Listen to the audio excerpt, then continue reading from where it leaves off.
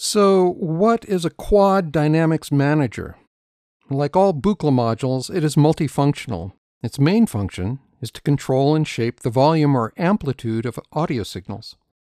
It can be a simple audio mixer, having four discrete audio inputs and nine audio outputs. Each of the four channels has a single audio input and a set of two mono outputs, and there is a combined all audio output. Sometimes I like to use this as a 4 to 1 audio mixer, using the rotary pots to adjust the relative volumes of each channel, A through D. Additionally, each channel can be voltage controlled through the black banana input jacks. For additional control voltage shaping, there are the gray banana jack inputs, which are mapped to velocity. And finally, each channel of the Quad Dynamics Manager can, with the push of a button, become 1. A voltage controlled amplifier when it is in gate mode, 2. A low pass filter in low pass mode, or 3. A combination of those two in combo mode.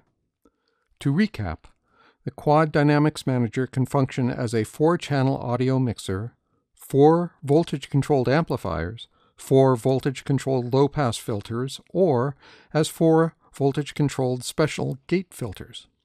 I often use one channel in gate mode, two other channels in low pass filter mode, and the fourth channel in combination.